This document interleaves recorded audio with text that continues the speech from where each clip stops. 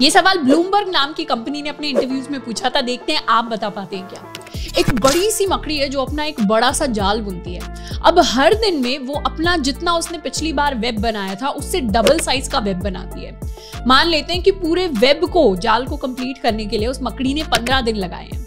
तो आपको बताना है कि वो जाल कौन से दिन पर 25 परसेंट कंप्लीट था। आंसर आपको लास्ट के एक सेकंड में मिल रहा होगा, पर अगर आप उससे पहले सॉल्व कर लेते हैं तो मुझे नीचे कमेंट करके ज़रूर बताइएगा। आज के लिए इतना ही, मिलते हैं नेक्स्ट वीडियो में keep learning and keep exploring